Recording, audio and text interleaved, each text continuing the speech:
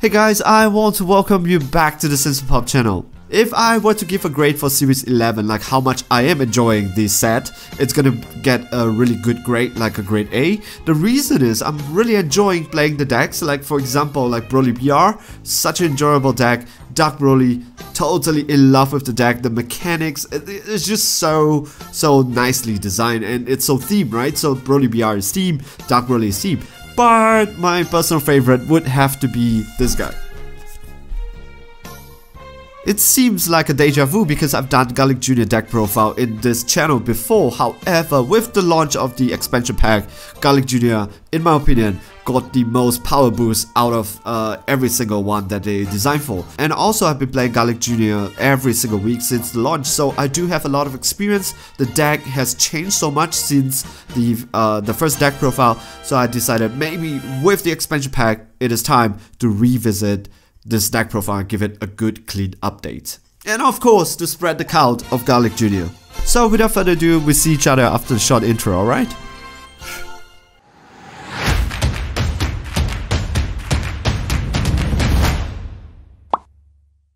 Hey guys, I want to welcome you back from the intro. So what is the Garlic Jr. deck profile all about? It is uh, about just flooding your board with Demon Clan cards and swing with them. They can be aggressive and they can be defensive at the same time. There's several ways to play your Demon Clan cards and cheat them out for free. Most of them are 2 drops but they punch hard because uh, they are servants. Most Some of them are servants which is 20k and every single one of them has a special effect that you want to make use of uh, when you uh, summon them. And de depending on the different situation that you're gonna use them to uh, use them differently all right and this card this this deck has a lot and a lot of card drawing ability. If you play it right you're gonna be in really really good hands. Yep so let's talk about the leader so the leader is Garlic Jr. Overlord once per turn. So you, what is Overlord skills? If you have a battle card that has 7, you get to choose that card, put it underneath your deck, and then you draw a card. Really good ability, and we're gonna abuse this ability in this deck. And when it comes to overlord skills, like uh, Broly BR has it, uh, Majin Vegeta has it, but in Garlic Jr., it is the best implementation of it. So also when this card attacks, draw a card, really good when you're 4 or less life or you have a unison card with 3, you get to awaken and when he awakens, I'm just gonna wait for the animation once again. Uh, Garlic Jr., the Immortal Demons Overlord. You do have Overlord over here, so you can use Overlord on his side. Flip it over, you're gonna use it again when he awakens. You can do that. Remember, when the card attacks, you get to draw a card, and when one of your opponent's battle card attacks, or one of your opponent cards attack, leader card, unison card, whatever, when he attacks, um, you may choose one yellow demon clan card with two. Every single one of them is two.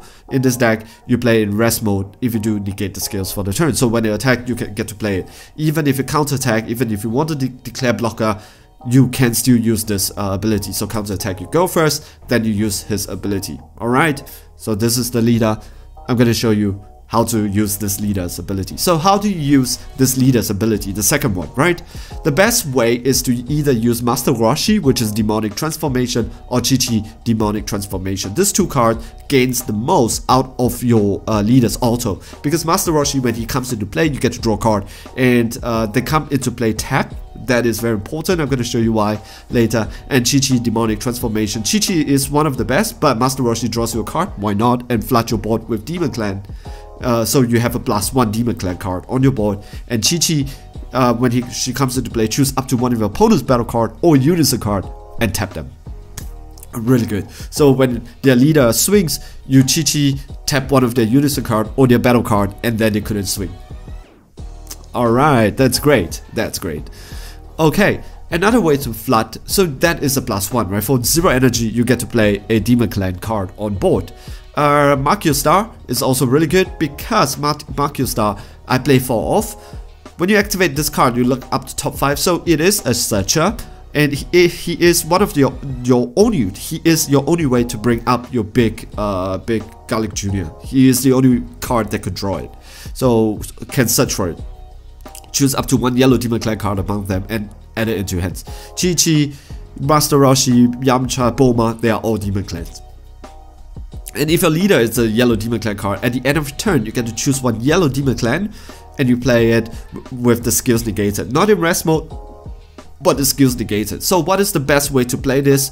Um, I play 4 copies of Makyo Star because no matter what, he is a 1 cost searcher, so you could re easily replace it if you want to. You need the proper cards to get into your hands. Makyo Star is one of the ways to do it. At the end of the turn, you get to play a card. However, Gas Yu it's not one of the target. It, it can be one of the target. However, Gasu is I play three off, and he you discard him and you go to your uh, deck and to search a Star and put it into your hands. He is really really good in that in that way. All right, but the best way, the best card to play Makyo Star is actually Boma and Yamcha Demonic Transformation. Boma is uh, activate main once per turn. You look up to top five and you can search for Unison card or a Demon Clan card and add it into hands. Unfortunately, because your big Garlic Junior has 5 cores, you cannot search it with Boma, but she searches everything else, even your super combo. Yes, we are playing Demon Clan super combo because I like it, alright? And Yamcha Demonic Transformation, he is a blocker and 7, so at the end of the turn, um, because their skills are negated. so if you play Chi Chi, you play Roshi, it doesn't really make sense to play with them because their skills will be negated. Roshi and Chi Chi has come into play effect. Boma and Yamcha does not. So when they come into play, they are a 20k this is a 20k swing the next turn, and she has the ability for you to do a search, and then Yamcha is a 20k blocker that could swing. Alright, so that's really good.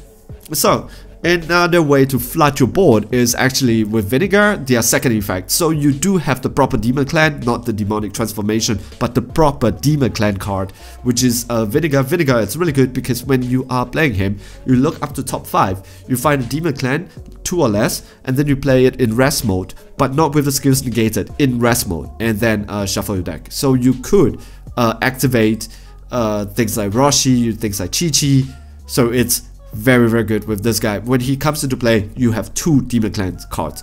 The goal here is that you want two cards in rest mode, two Demon Clan yellow cards in rest mode, yellow battle card in rest mode, or four Demon Clan cards on your board, okay? It's, uh, but you are not going to pay 2 energy for this guy, or you are not going to use Makyo Star because it doesn't matter because he comes into play effect. Uh, so, but you can also use him with your leader's ability. So your leader, when you play him, he comes into play tap, activate his ability, then another card comes into play tap. So you have two tap cards just like that. Really good. And uh, also tap one yellow. If your leader card it's a yellow demon clan, when you activate overlord skills, you get to play him from your hands. So overlord, one of your seven card like Boma, Yamcha, back into deck, draw one, tap one, play him, and then you play two other cards on the board. Just like that really good. And then uh, Tado, Tado is very, very, um, how do you say that, situational, but he comes into play the same way, so you can tap one, and when your when Overlord skills is activated, you can tap two and play both of them if you want to, but uh, when he's played, choose one of your opponent's battle card, it cannot untap during uh, your opponent's next turn.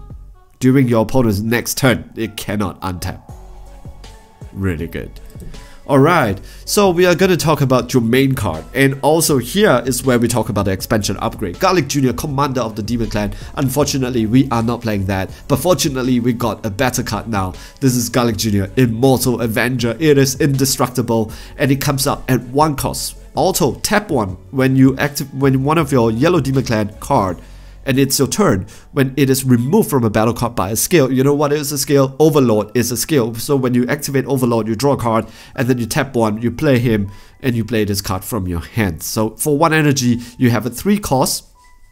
I don't really use the second also very much, but maybe it's situational. But then you have Garlic Jr., Overlord of the Demon Realm. This guy just evolves straight. So now, instead of paying 3 for your Garlic Jr., and then the next turn you evolve, now is just 1 energy, 2 energy. You get to bring this guy out in turn 2. If you have those cards in your hands, it's gonna be guaranteed and uh, he has an overlord skill so now you can activate overlord the second time he is unique he is indestructible he is critical he has critical 30k critical. It's disgusting to deal with him. Activate main once per turn this is the one that is really good. You get to look at the bottom of the deck and if it's a server card you play it.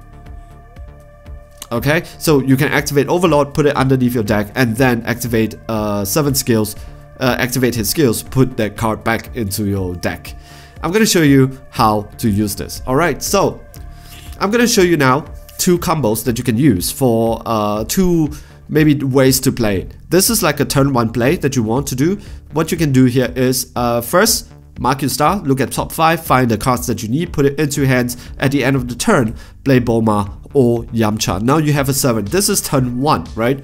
And now you have this board set up. And after that turn 2, what you can do here is you swing with your Boma, swing for 20k actually. If you think about that, activate 7 skills, you get to draw 1, and then you use Garlic Jr. So you tap Garlic Jr. because you activate Overlord skills, you play Garlic Jr. back into the uh, area. Tap 1, evolve uh, Garlic Jr., the big one, on top of it then use his uh, underneath that second card because remember you put Boma back into underneath your deck, ain't it? So now you're pretty sure that the bottom deck, bottom of the deck, that card, it's gonna be Boma. So use this skill, bring Boma back onto the deck, and then swing with Boma again. So now you swing with 20k. So your second turn, you really swing once with 20k. Now you're gonna swing second time with 20k. But then after you swing with Boma, you use his Overlord skill, bring Boma back into the deck to draw another card. Now it is already a draw 2 in turn 2, and you have not even awakened yet. That is a draw 2. So Boma goes back into uh, the deck, and then you draw another one. You're gonna swing with 30k, another crit, so 20k, 20k, 30k, and then you get a swing 10k, and then you gotta draw another card. Three cards draw in this uh, turn 2 uh, play. Alright, so this is like the best way that you can start the game. So uh, you evolve him already. Now your opponent has to every single time deal with a 30k. So there is another way that you can do a lot of card draws, which is uh, with Garlic Jr. So when your opponent swings, imagine, right? You, it's your opponent turn. Your opponent swings, you activate Garlic Jr. second ability, and then you're gonna play Roshi in rest mode. And when Roshi comes into play, you get to draw a card. So he ends his turn. Now you have Roshi on the board, you use one of the Overlord's ability, put Roshi back into the deck. Draw one more and then you use your Garlic Jr.'s ability to bring Roshi back you draw one more. Because Roshi now comes into play and it's a new turn. So you draw one more. Now with Roshi, you already draw uh, two. Is it two? Yes, draw two. Yes. Sorry, don't do math on uh, videos. And then uh, you can swing with Roshi again, so it's a 20k swing. And after that, you activate your second Overlord because you have two. Bring Roshi back into the, the deck, and then you draw another one. Yes. I think it's a draw 4, sorry. So, when you play Roshi, you draw 1, Overlord you draw 2, when Roshi comes back into play, you draw 1, yes. And then you use a Garlic Jr. ability, again, second Overlord, you draw 4. So with just one card and zero cost, you draw 4, and then you get a Roshi swing, and then Garlic Jr. One of the ways also that you can also use uh, Yamcha, you swing with Yamcha with blocker, put it back into the deck, you draw 1, then use him to put Yamcha back, now you also have another blocker. The reason why I talk about uh, why we need cards in rest mode and then we need 4 cards uh, it's because of this, Baby Resolute Avenger. Such a great unison card together with your leader, because when you play him, you get to awaken, and uh, he is a blocker. In a plus one, he at the end of turn, you switch it to rest mode minus two. You get to choose one of your uh, yellow battle card, mono yellow battle card with energy 5 or less, and switch it to active mode. If you think about this guy, the permanent it's even crazier because if you have two or more yellow battle card in rest mode, this card and your leader card gets 5k power. It is not during your turn, not during your opponent's turn. Once you have two, it becomes uh, it becomes like a 10k. Uh, you get the extra 5k. So 20k, 20k. So you can use it aggressively when you swing, or you use it defensively when you defend yourself. And with a leader's ability, if you play Vinegar, which is the card that brings out another card, immediately you get the extra 5k boost. Just like that. If your opponent clears the board, you can do it. When your opponent swings at you, bam bam, now you get an extra 5k. And now uh, this is a 20k blocker, and your leader has a permanent plus 5k, which is 20k. So much harder just to hit. Yep. And uh, of course, we have Prideful Transformation. This card is so good in this deck because he taps something that comes into play. And at the same time, he is a blocker himself. So he does too. He blocks an attack for you and he taps something. Really good card. And he comes in for zero cost. And uh, we are going to play Energy Field as a negate. Such a good card because minimum, it's gonna negate the attack. However, if you have 4 or more demon cards in play, it doesn't have to be rest mode. Rest mode is just for the uh, unison card, but if you have 4 or more demon clan cards in play, your opponent can attack once more. It's not like Toppo where they can pay a cost and try to attack again. No. they can only attack once more. Unison card, battle card, their leader card, they pick one more attack this turn. And then you have blockers on the board anyways. Uh, your baby Resolute Avengers, it's a blocker anyways. It's finished. But what's better? You know what? What's better?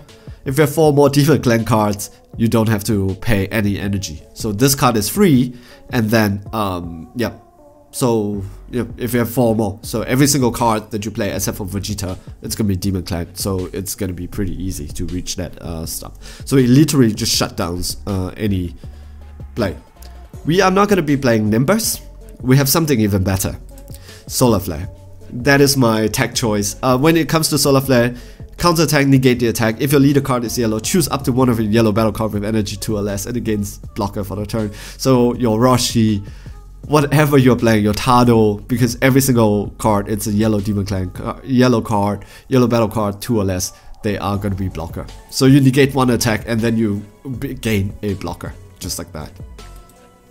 Right, so this is the deck profile. I'm sorry, I think it took some time, but I think you can understand why. Because uh, there is really a lot to go through and I want to share what all this knowledge that I've gained, right? But you can see over here, there's one card that we will be playing. It is going to be full shrouded in mystery. So if you are playing a long game and your opponent has a lot of blockers, you have a lot of blockers, just slap full down and go for the game. So this is the SCR of choice in my deck because this is basically the game ender. And then you have so much swing because like there's a 20k, 20k, 20k, and then with this ability you could recycle them and swing again if you want to. Chi Chi is also 20k, uh, they are going to be so good. And with the Overlord's ability, you are going to be drawing so much cards. Don't You will not find yourself, if you're playing it right, you will not find yourself uh, having a small hand with this one. Yep. So this is basically the deck. I hope you like it. I hope you enjoy it. This is my take on the Garlic Jr.'s uh, deck profile. I believe that as much as theme as possible, this is basically the, the, the best out there. Yep, I just said that. I play with this every single week and I really enjoy it and it just takes out uh, opponent without them knowing it because they really underestimate the deck, what it can do. Um, yep, so this is one of the decks that it's also really cheap. I think there's $70. yep, so hey guys, I hope you like it. Stay safe, stay healthy. See you guys in the next video. Alright, ciao, bye.